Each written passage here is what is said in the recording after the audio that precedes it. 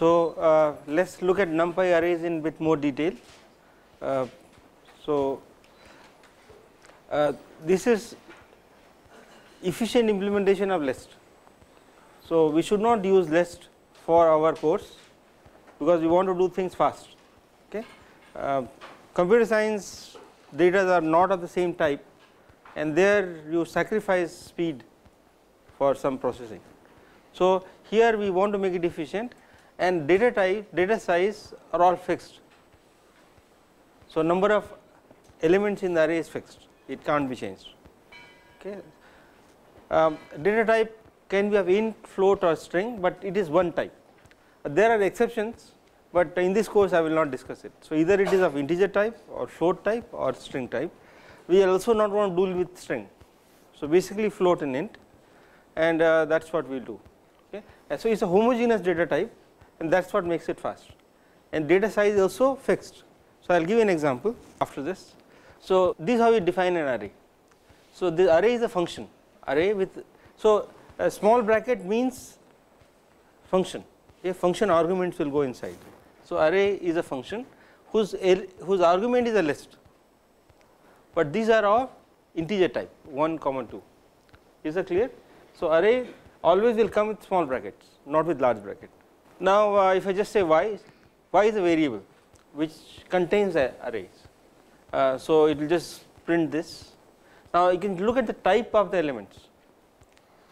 So, here my elements are y0 and y1, y0 is the first element and y1 is the second element and if uh, to get the type I say d type, okay data type, d for data and these are integer 64. So, this out 64, 64 bit.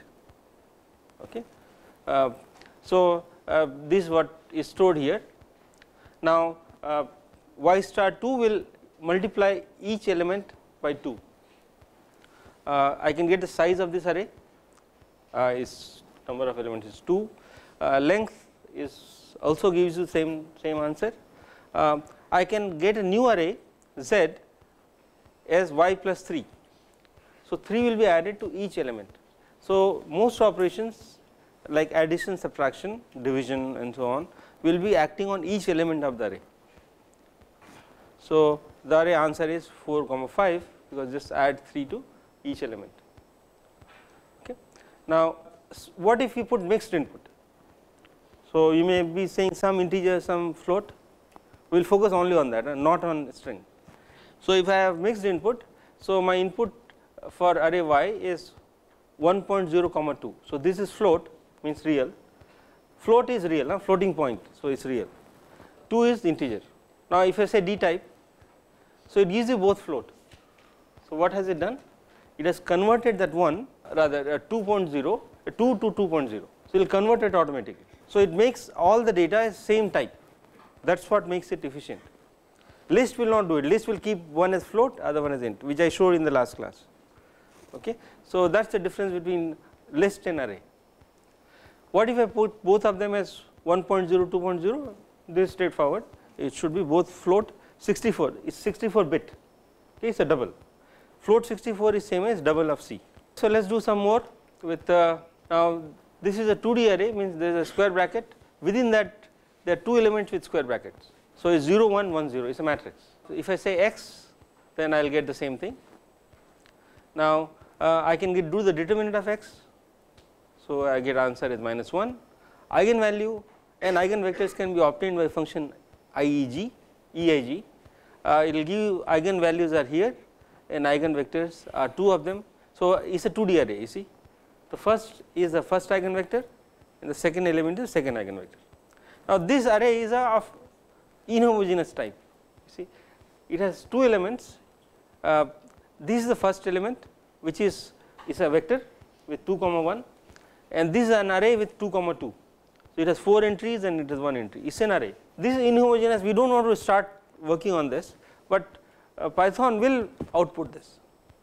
So, Python is very kind of you know is a loose uh, language where data can be of different types it will manipulate it it gives you flexibility, but of course it makes it slow. A little bit uh, look at how to access arrays array elements. So, how to access array elements.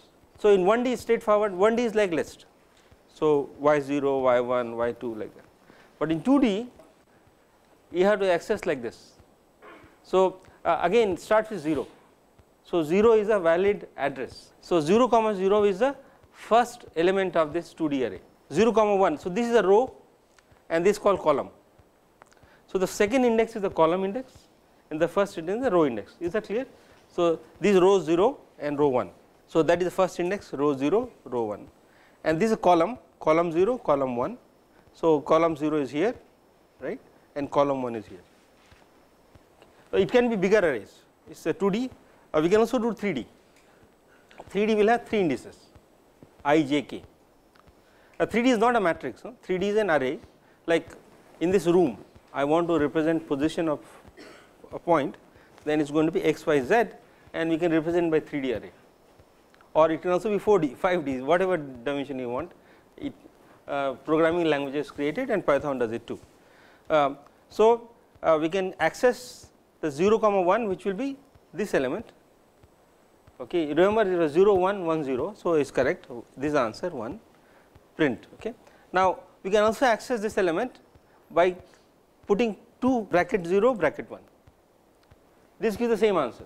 So this saves you a bit of writing but you can use this as well let us look at this eigen function again so i can assign this answer to a array y because it gives an array i eig return, returns an array so if i say y so, it is going to give me the array. I want to access some element, let us say I want to access this guy 1 1.0. How do I access it? This is an array y, y is 0 or 1, y is 0 comma, will it work 0 comma 0? It turns out it does not work because it is a inhomogeneous array. So, this will not work and it gives error like this, it will come in your screen. So, what you have to do is uh, you have to say 0 bracket 0 bracket so, if you say 0 put a bracket here put a bracket here it will work like this. So, y 1 1 will give you in fact y, now this is another example y 1 1 will be what. So, this is 0 this 1 but 1 1 will give you this this one this is y 0 and this whole thing is y 1. So, it is a structure of structure if you know this C. So, let us write this. So, for this example y 0 is a structure which is that 1 minus 1 is that correct 1 minus 1 and y 1 is the 2D array.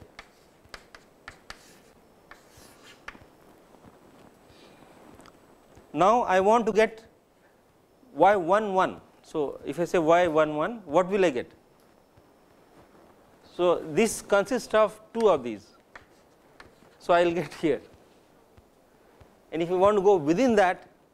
So, I want to get here then I have to put this y 1 1 1 in 3 levels. So, you go in a in a building then you go inside the one corridor then go inside a room and this part of structure is, is not a actually this is not an array really in strict sense it is a structure which has sub arrays inside. But uh, do not worry too much about it I just wanted to illustrate that addressing has to be carefully done. For you you just focus on matrices and arrays which are 3 by 3, 5 cube like that. Okay. So, but if you want to access data from these kind of objects then you need to know how to do it.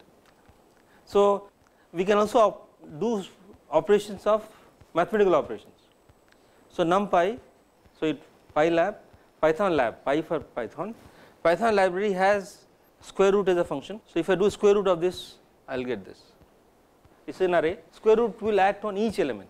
Similarly, I can add two arrays y plus z. So, you will add element by element, but what if I do y star z what will I get? It is not a matrix multiplication or array multiplication is element by element multiplication. If I take matrix A and matrix B I say A star B is just going to do element by element multiplication it is not going to do matrix multiplication. Matrix multiplication you have to write your own but rather it is there but it is not A star B. So, uh, one has to be careful uh, this kind of uh, in this operation this is a dot product if you like it is not a complex number, but it is a dot product. Uh, well actually it is not a dot product I must apologize it is not adding things, but it just multiplying it is just multiplication of element by element that is what you should say it is not a dot product I, I take back. These are very useful things especially when I'm want to create an array I do not know the entries. So, I am not going to write like this. So, suppose I know that it is 10 array of 10 elements. So, you say zeros 10 right you just say zeros 10 all entries will be zeros and zeros 10 this is a useful function or you can say one well I, I start with zeros 10 or zeros 4. So, it will create an array and on that I will operate we can create an empty array or with arrays with ones. This is a range function which I described earlier.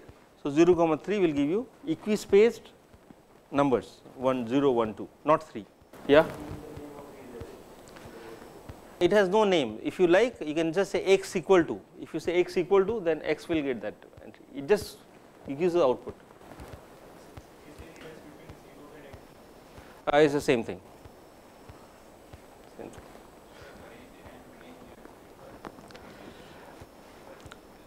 So, so it is same except it will act on arrays. So, it gives an array not list. So, that gives a list and this gives an array. Sometimes you want arrays, so it will give arrays. Uh, there is one more useful function called rand. So, rand will give random numbers between 0 and 1. So, these are random numbers with 4, 4, 4, uh, 4 entries, 4 elements. If I do not put anything here, it will give you one number. But uh, if you want to connect, connect uh, generate 100 random numbers, you can just do it. Like linspace was a bit confusing in the last class.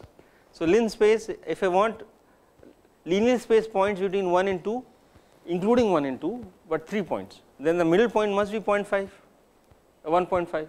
So, this is number of elements in that array 3 and starting and the end, end, end values. So, this will give you, so in one line it just gives in one line linspace gives that function. We can also with 5 elements is going to be this.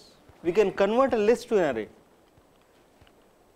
So, how do you convert a list to an array? So, this is a list right x equal to 3 comma 4 is a list.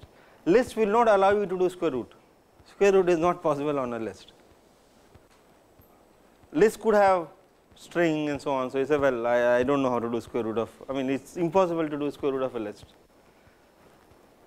but I can convert that to a numpy array by saying that array x.